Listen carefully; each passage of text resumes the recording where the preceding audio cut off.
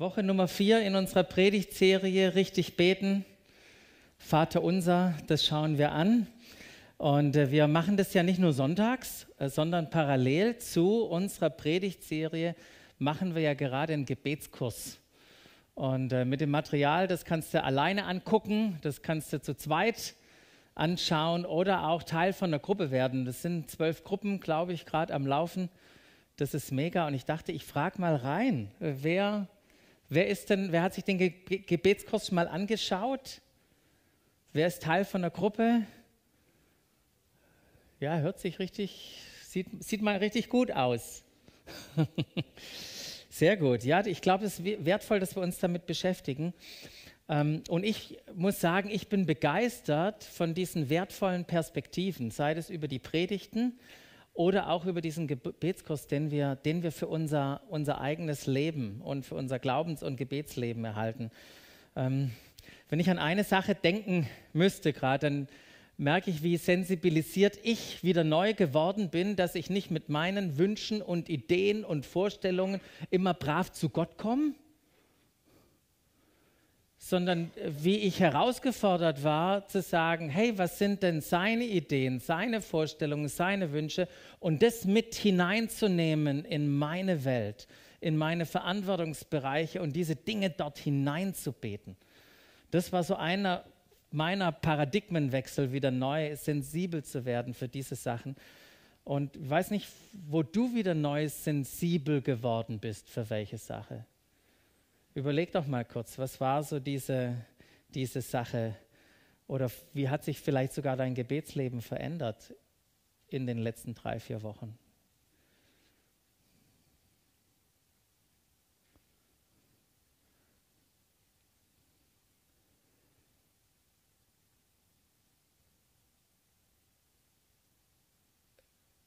Ich hoffe, es passiert was unter uns.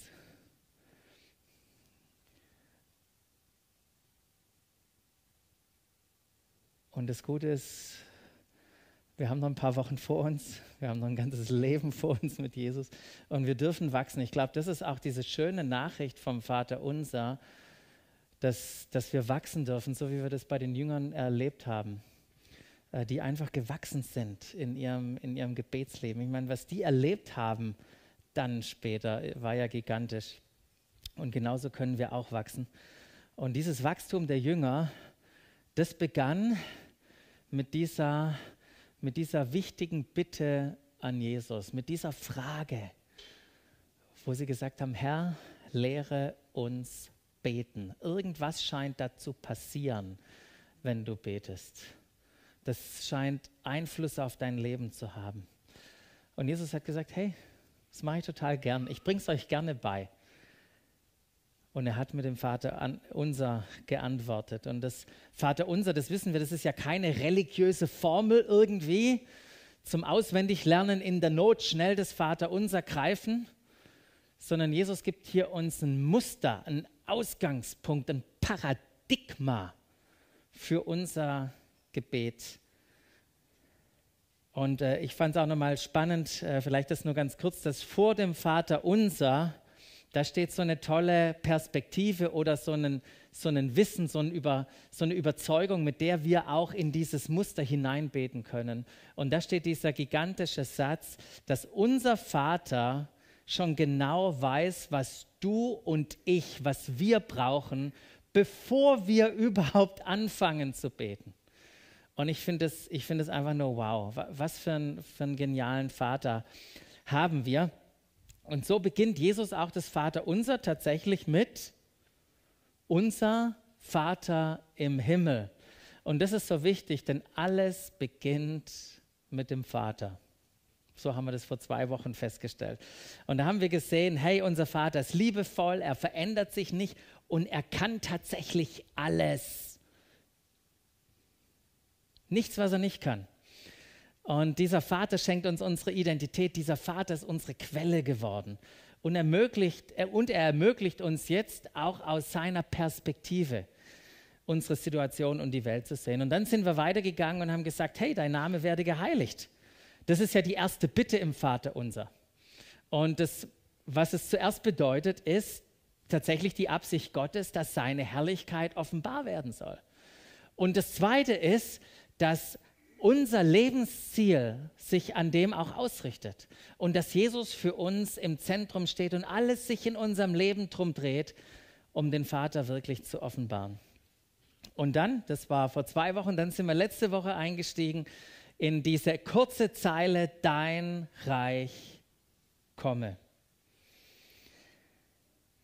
Und gemeint ist das Reich Gottes, in dem Jesus der König ist und wir wissen, das hat keine geografischen Grenzen. Das ist nicht limitiert wie beim König Charles oder anderen Leuten, sondern es, es breitet sich aus überall dort, wo Jesus König ist. Da hat dieses Reich Einfluss. Und es ist so spannend, dass Jesus, wenn ihr in die Bibel mal reinguckt und mal euren Marker hernimmt und überall das markieren würde, wo redet Jesus über das Reich Gottes, dann würden wir feststellen, das war sein absolutes Lieblingsthema. Er hat wie kein anderes Thema über das Reich Gottes äh, gesprochen. Und er hat auch gesagt, dass es nicht irgendwann kommt. Nicht irgendwann, sondern er hat gesagt, es ist jetzt schon da. Es ist gekommen mit ihm als Person. Und das Wichtige ist auch noch, es ist in uns. Es ist zuerst in uns, wenn wir sagen, ja, Jesus, du bist der König meines Lebens. Und dann nehmen wir dieses Reich mit in unsere Welt und bringen den Einfluss Gottes, Gottes dahin. Ähm, und, äh, und dürfen es wachsen lassen. Gell? Wenn wir an die ganzen Reich Gottes Gleichnisse denken, das Reich Gottes wächst. Und äh, das Böse darf zurückgedrängt werden. Und auch wir dürfen in diesem Verständnis, und das ist auch Teil dieses Gebets, wenn wir beten, dein Reich komme, dass wir auch, dass wir auch einfach mit dieser Perspektive werden, ja, ich möchte es noch mehr verstehen, ich möchte es noch mehr empfangen, ich möchte noch mehr das durchdringen, was es bedeutet. Und ich habe so eine Feststellung gemacht. Und die Feststellung ist, dass Menschen, die beten, Menschen, die regelmäßig und viel beten, die haben in der Regel ein größeres Reich Gottes Verständnis als andere. Das ist nur so meine Beobachtung. Vielleicht äh, teilst du das auch. Und ich finde es absolut bemerkenswert, wenn wir da am Anfang gerade reinschauen in, in die letzten Wochen, was da passiert ist, gell? Welche, wie das Vater unser, die ersten Zeilen in unser Leben, in unsere Identität hineingesprochen haben. Und vielleicht da zwei Dinge noch mal kurz zum Festhalten und dann gehen wir gehen wir weiter in die heutige Botschaft, wo es da heißt, wenn wir sagen, unser Vater, dann sagen wir, hey, ich bin Teil von Gottes Familie. Und alles Leben dreht sich um die Herrlichkeit des Vaters. Und das Zweite ist, dein Reich komme. Wisst ihr, was da passiert, wenn wir das beten? Dann sagen wir, ich bin Bürger dieses Himmels. Ich bin Bürger deines Reiches und ich möchte es repräsentieren und dafür leben. Und äh, vielleicht, dass mir da, da geht es ja nicht um irgendwie, wir übernehmen jetzt Stuttgart und übernehmen die Welt. Das ist überhaupt nicht, ja, ist nicht trumpfialistisch. Und wie heißt das Wort? Ähm, sondern äh, es ist äh, Trumpialistisch. Nee, wie war das? Ähm, das ist, es, das ist nicht der, die Idee, aber wir wollen, wir wollen, so wie der Christoph das vorher gebetet hat, Gerechtigkeit, Frieden und Freude in unsere Welt hineinbringen. Gut, das war die zweite Bitte, dein Reich komme. Die dritte Bitte, wisst ihr schon? Da heißt es, dein Wille geschehe auf der Erde, wie er im Himmel geschieht, so heißt es in der NGÜ. Also dein Wille geschehe, das ist das Thema heute. Und ähm, worum geht es da? Es geht darum, Ja zu sagen. Es geht einfach darum, Ja zu sagen zu dem, was Gott will. Nicht mein, sondern dein Wille geschehe. Wenn du das mitnimmst, es geht darum, Ja zu sagen.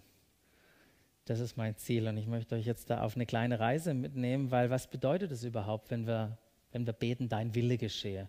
Was ist eigentlich der Wille Gottes? Ähm, wir haben ja so ein gerade praktisches Beispiel gehabt. Was, wie finden wir denn jetzt raus, was der Wille Gottes ist?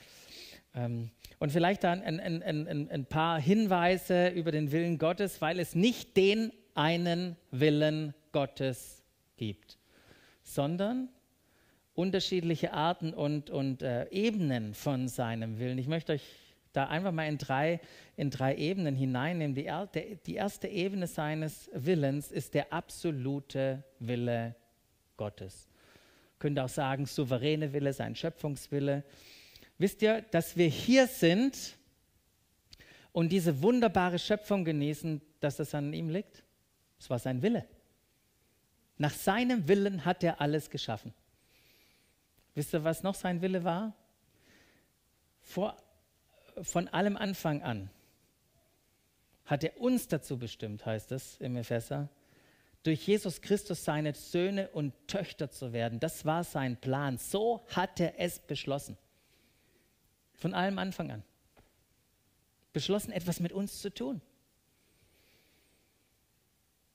Und wir wissen, Offenbarung 21, dass sie siehe, ich mache alles neu. Schöpfungswille, das wird passieren. Das ist die eine Ebene. Da gibt es noch eine andere Ebene. Die, das ist der grundsätzliche Wille Gottes. Wir können doch sagen, der Heilswille. Ähm, drückst mal drauf, dann sieht man das. Gott hat einen Herzenswunsch.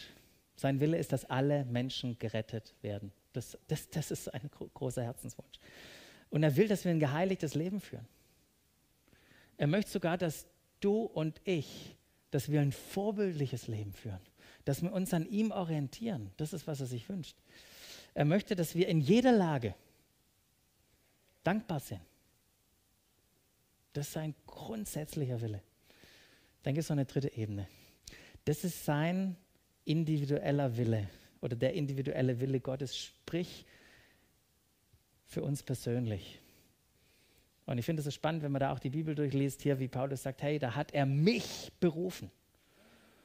Und er hat mir einen Auftrag gegeben, was zu tun. Ähm, und er führt uns in gewisse Situationen hinein. Guckt mal die Menschen in der Bibel an, wie Gott da individuell einen Willen hatte für ihr Leben. Er hat gute Werke für uns vorbereitet. Und wenn wir da jetzt mal so einen Strich reinziehen zwischen 1 und 2, absolut bedeutet, dass es geschehen wird, ob wir wollen oder nicht. Das wird geschehen. Und grundsätzlich individuell bedeutet, dass wir diesen Willen annehmen und leben oder ablehnen und unser Leben leben können.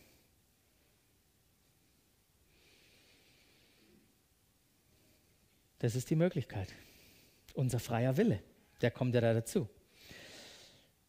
Und wenn wir beten, dein Wille geschehe, dann lädt uns dieses Vater unser Gebet ein und fordert uns heraus, erstmal über den Willen Gottes nachzudenken. Was ist der Wille Gottes? Und anzufangen, ihn zu leben. Es geht darum, Ja zu sagen. Es geht darum, Ja zu sagen, nicht mein, sondern dein Wille geschehe. Und das ist ja nicht leichter. Nichts, nichts, gibt, nichts leichteres gibt es als das, oder? Ja, und ich habe mir da mal überlegt, wie ist denn das bei mir? Hand aufs Herz, gell? Wenn ich so mein Gebetsleben anschaue, was mich geprägt hat, dann merke ich immer wieder, diese, das würde, die, das würde mich glücklich machen, Wunschliste, die ist so prominent in meinem Leben, inklusive täglich Brot, vergib mir meine Schuld, führe mich nicht in Versuchung. Und äh, das kommt ja noch. Keine Sorge, das ist nicht schlecht. Ähm, doch zuerst geht es darum, Ja zu sagen. Nicht mein, sondern dein Wille geschehe. Ich habe Haltungen und Lügen entdeckt, die mich und andere Menschen abhalten, nach dem Willen Gottes zu leben, dem Willen Gottes zu folgen. Und ich möchte euch ein paar einfach nennen, drei Stück habe ich mal, und die kurz erläutern. Was hält uns ab, den Willen Gottes zu leben? Und die erste Haltung, die wir einnehmen kann, und ich weiß, das ist, ich habe mir überlegt, oh, das ist ein hartes Wort. Aber so ist Die erste Haltung ist Rebellion. Die erste Haltung, die wir haben können gegenüber dem Willen Gottes, ist Rebellion. Das ist ganz einfach. Oder ein anderes Wort wäre Widerstand. Das ist genau das. Und wir würden sagen zu Gottes Willen, nein, will ich nicht. Schön, dass du das willst. Nee, mache ich nicht. Und äh, was passiert hier? Seine Wünsche oder meine Wünsche sind wichtiger als seine Wünsche. Ich sage, ich will diesen Lebensstil leben, diese Beziehungen behalten, mich diesen Versuchungen hingeben, nicht vergeben und mich versöhnen. Ich will lieber mein Geld behalten und so weiter. Ich will lieber meine Sachen machen und das, was ich als richtig empfinde, irgendwie habe ich das Gefühl, ich brauche das. Und so ein prominentes Beispiel, ohne der Tiefe einzutauchen, wäre Jona, oder? Jona kriegt den Anruf von Gott und er nimmt den Hörer ab und Gott sagt, geh nach Ninive und was sagt Jona? Alles klar, Gott? Nein, danke, ich gehe darüber. Und das mag vielleicht ein extremes Beispiel sein, aber wie wiederholt sich dieses Beispiel auch in unserem Leben, wo wir sagen, ich will, ich will, ich will, ich will, ich will. Und ich weiß nicht, ob euch, wann euch sonst ich will, ich will begegnet. Ich merke das manchmal von Menschen, die so groß sind. Das auch ich will, ich will, ich will, ich will. Was sind die unreif? Sie haben keine größere Perspektive. Und, und manchmal fallen wir so in, in, in das wieder so, so zurück. Ich will. Und ich glaube, das ist so eine wichtige Frage, die wir uns stellen können. In welchen Bereichen meines Lebens, in welchen Bereichen von deinem Leben bist du versucht, Gott zu sagen, danke Gott, aber ich will es nicht. Die zweite Haltung, auch ein Hammerwort, Abneigung. Ähm, wir sagen zu Gottes Willen, muss das sein? Warum, lässt du das zu? Oder das, das mache ich nicht mit. Nur wenn es unbedingt sein muss. Dann. Aber im Prinzip ist ja das Gleiche wie Rebellion, weil wir nicht mit seinem Willen übereinstimmen, wir sagen es nur netter. Wenn es sein muss, dann mache ich das. Aber innerlich haben wir uns da verabschiedet, eigentlich genau das zu machen. Und ich, äh, ich fand so ein super Beispiel in, in der Bibel bei der Gefangennahme von Jesus. Da ist ja Petrus mit dabei und ich weiß nicht, wie der an dieses Ding rangekommen ist, aber der hatte ein Schwert dabei. Im Garten. Unkraut jeden, nee. Ich weiß nicht, warum der ein Schwert dabei hatte. Und dann plötzlich kommen die, die, die Diener und die Soldaten vom Tempel und wollen Jesus festnehmen und er zückt das Schwert und er geht auf den einen Diener ein und er hackt ihm das Ohr ab. Und so wurde es nicht aufgeschrieben, aber ich glaube, Jesus hat in dem Moment, hätte er sagen können, sag mal, Petrus, spinnst du? Hast du noch alle?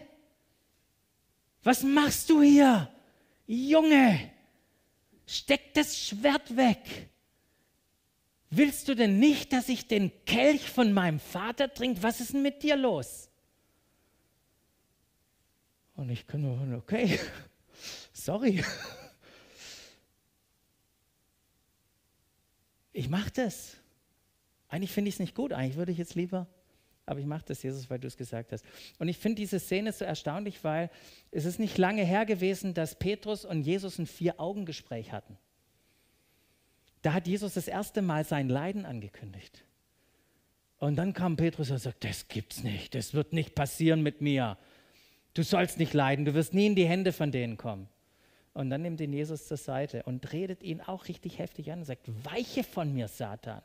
Das, was du hier raushaust, ist nicht von Gott. Das ist was Menschliches, das ist dein Wunsch, das, was du gerne haben möchtest. Und das ist die Herausforderung, die wir auch haben, die auch Petrus, ähm, der, der sich auch Petrus gegenübergestanden ist, weil die Frage von Petrus war, vertraue ich dem Plan Gottes, vertraue ich dem Willen des Vaters oder mache ich das nicht, will ich den eigentlich nicht haben? Und ähm, er hat menschlich, menschlich reagiert. Und ich habe mich auch gefragt, als ich das so gelesen habe, nochmal, wie reagiere ich denn innerlich auch? in Situationen, in denen ich mich plötzlich wiederfinde, die nicht auf meiner Wunschliste stehen. Und ich bin trotzdem drin. Und was macht es mit mir? Vertraue ich dann trotzdem auf den Willen des Vaters? Oder verzweifle ich, bin ich mürrisch, wie auch immer, was man da sein kann? Oder habe ich, egal was um mich herum passiert, trotzdem dieses, dieses tiefe Überzeugung, ich weiß, dass der Vater das Beste für mich will. Es gibt noch eine dritte Haltung. Oh, die habe ich, die habe ich tatsächlich öfters. Das ist die ungesunde Unabhängigkeit. Wir sagen zu Gottes Willen, danke Herr, aber ich, ich mache es lieber selbst. Oder ich brauche deinen Willen nicht. Ein anderes Wort für ungesunde Unabhängigkeit wäre eigentlich Ignoranz oder Gleichgültigkeit. Ja, wir suchen den Willen Gottes nicht mal. Warum? Weil er uns nicht wichtig ist. Weil wir denken, wir wissen selber. Und ich, ich habe mich gefragt, wie oft habe ich schon richtig gute Dinge in meinem Leben verpasst, weil ich einfach dachte, Basti ist schlauer als Gott. Ich muss gar nicht fragen. Und wisst ihr, was die Herausforderung da ist? Das ist unser Stolz. Das ist unser Stolz. Das ist die Haltung, die den Willen Gottes aus unserem Leben schön draußen hält, weil wir denken, nee, nee, nee, wir wissen es doch selber. Ja, und das ist auch eine Frage an uns. In welchen Bereichen unseres Lebens versuchen wir es selber in die Hand zu nehmen? Wo, was haben wir da für eine Neigung? Lassen wir den Willen Gottes zu in unserem Job oder in unserer Familie, in unserer Ehe, in unseren Beziehungen? Fragen wir da wirklich, Herr, was willst du? Oder denken wir, wir wissen es? Genau, diese drei, Rebellion, Abneigung, ungesunde Unabhängigkeit. Und alle diese drei Haltungen äh, da merke ich, da ist ein unzureichendes Bild von Gott da. Da, da ist ein, ein, ein, Gottesbild, was nicht stimmt. Ähm, und ich, ich glaube, und das ist diese Spannung, wenn wir wissen, wer Gott ist, wenn wir es wirklich wissen, ich glaube, dann wird es uns auch viel einfacher fallen zu sagen, dein Wille geschehe, wir vertrauen dir. Das ist so das eine. Und das andere ist, dass wenn wir uns darauf einlassen, auf seinen Willen, dass wir dann erkennen, wer, er ist. Versteht ihr das Dilemma? So Hühner, Hühner oder Huhn oder Ei, mit was fangen wir denn jetzt an?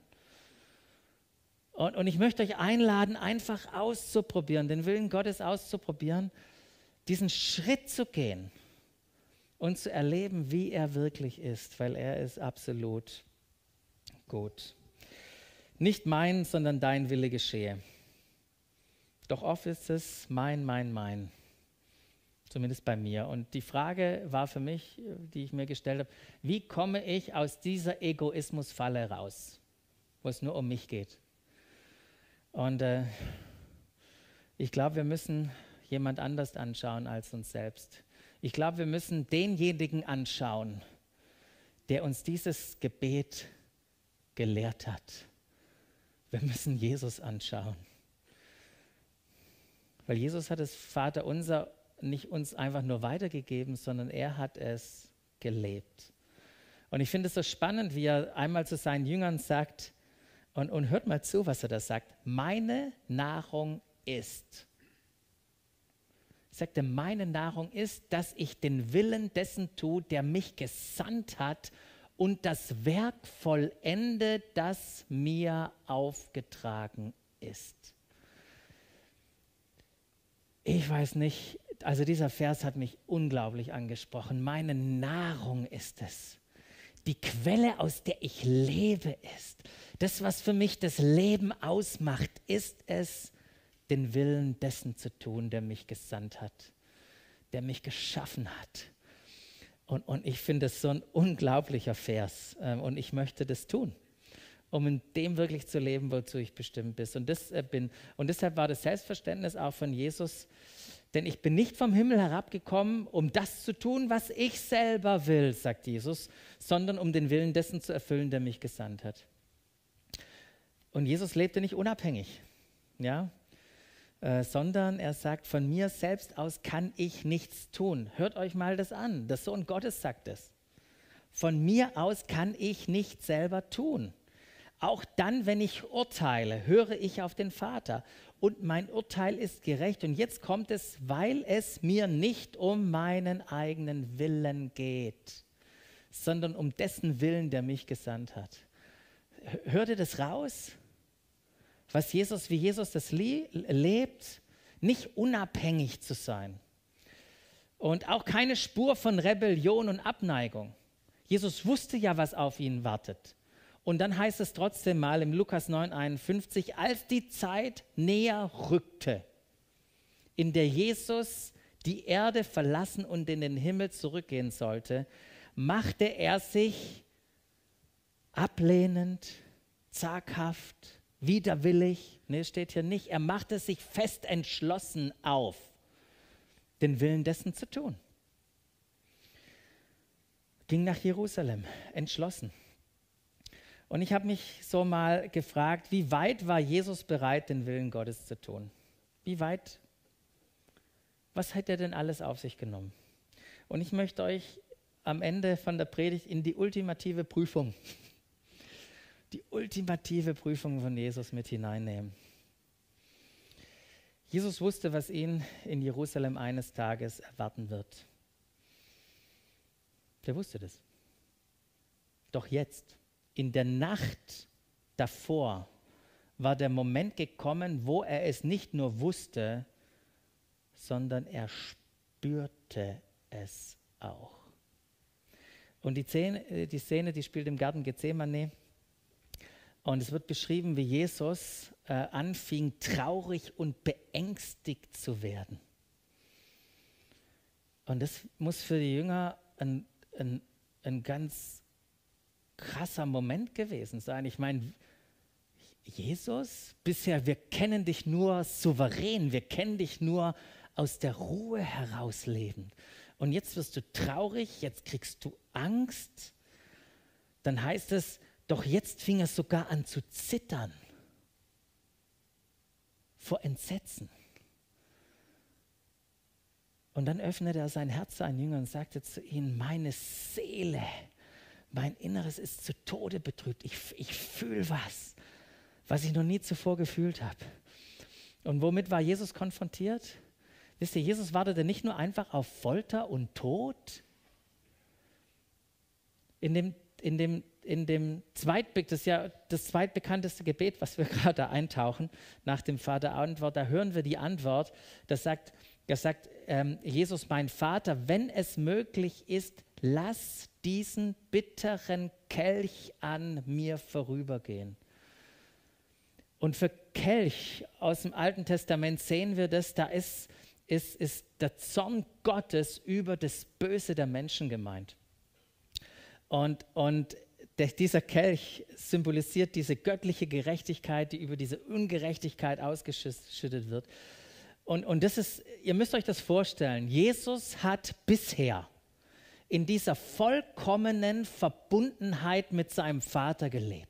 Jedes Mal, wenn er im Gebet mit ihm gesprochen hat, wisst ihr, was passiert ist? Liebe, Zuspruch hat ihn überschüttet.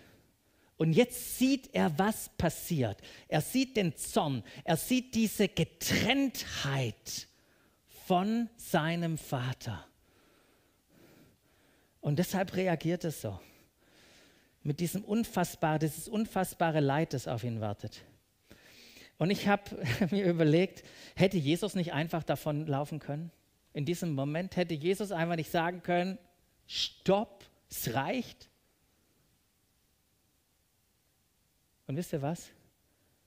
Er hätte es tun können. Er hätte es tun können. Abbruch. Und wisst ihr was? Alle hätten es verstanden. Petrus, alles gut, Jesus. Ich hätte es genauso gemacht. Alle hätten es verstanden. Doch Abbruch war keine Option. Abbruch war keine Option für Jesus. Das Einzigste, was Jesus ins Spiel bringt, und das finde ich so interessant, war seinen Vater danach zu fragen, ob es vielleicht noch eine andere Möglichkeit gibt, die Menschheit und das Universum zu erlösen. Mein Vater, wenn es möglich ist, wenn es möglich ist, dann wäre das mein Wunsch, dass es nicht passiert. Aber dann sagt er, aber nicht wie ich will, sondern wie du willst. aber nicht wie ich will, sondern wie du willst. Und ich finde es so spannend hier, dass Jesus die Kontrolle über seinen Lebensumstand und das, was da kommt, abgibt, dass er seine Wünsche dem Willen des Vaters unterwirft. Und ich weiß nicht, wie das Gespräch abgelaufen ist. Wie der Vater gesagt hat, tut mir leid. Ich will mich nicht von dir trennen. Aber es ist die einzige Möglichkeit. Es ist die einzige Möglichkeit der Erlösung, ist diesen Kelch zu trinken. Und so sagte Jesus in seiner zweiten Gebetszeit, mein Vater, wenn es nicht anders sein kann, also wenn das jetzt so ist, und ich diesen Kelch trinken muss, dann soll dein Wille geschehen. Was macht Jesus hier? Jesus sagt ja. Jesus sagt ja. Jesus sagt nicht mein, sondern dein Wille geschehe. Und in der dritten Gebetszeit wiederholt Jesus das nochmal und sagt auch wieder Ja zu dem, nicht mein, sondern dein. Und als ich das so gelesen habe, fand ich das wichtig festzustellen, dass Jesus seine Wünsche nicht einfach unterdrückt. Jesus kam nicht im Garten, hey, alles gut, kein Problem, habe keine Wünsche, bin vollkommen stumpf. Nee, Jesus hatte Wünsche. Jesus hatte den Wunsch. Bitte nicht. Aber er wusste letztendlich, dass der Wunsch des Vaters, der Wille des Vaters auch sein Wille sein wird. Und so tat er, was beide wussten, dass er tun musste. Jesus sagte Ja zum Willen des Vaters. Der Wille des Vaters war sein Wille. Und nun, nach dreimal diesem Gebet, war er bereit, er war voller Liebe zu seinem Vater und wisst ihr was, er war auch voller Liebe zu uns, deshalb hat er das gemacht. Dann ist er zurückgegangen zu seinen Jüngern, hat sie geweckt und gesagt, steht auf. Die, die mich abholen, die sind hier. Die sind hier. Herr, lehre uns beten. Herr, lehre mich beten damit ich genau so leben kann wie Jesus. Das ist mein Wunsch. Ich weiß nicht, ob es auch deiner ist. Genau so zu leben wie Jesus. Und wisst ihr, als die Jünger kamen, lehre uns beten, hat Jesus gesagt, das mache ich gern. Das mache ich gern. Unser Vater im Himmel. Dein Name werde geheiligt. Dein Reich komme. Dein Wille geschehe. Auf der Erde, wie er im Himmel geschieht.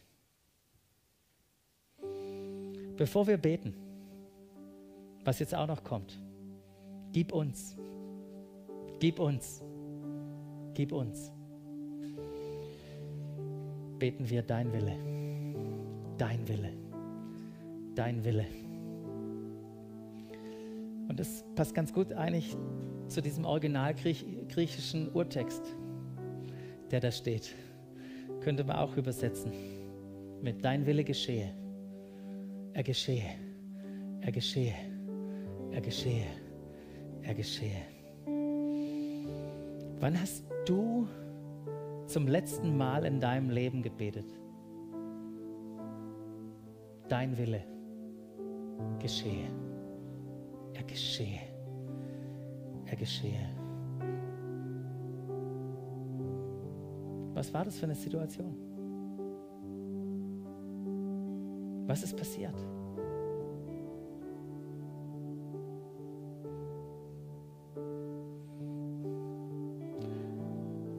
Ich habe mich gefragt, was würde passieren,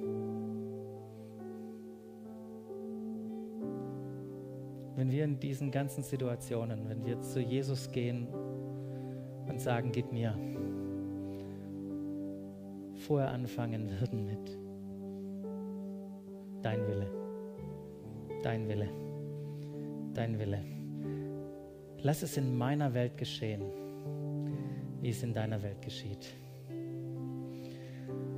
Es geht darum, Ja zu sagen. Nicht mein, sondern dein Wille geschehe.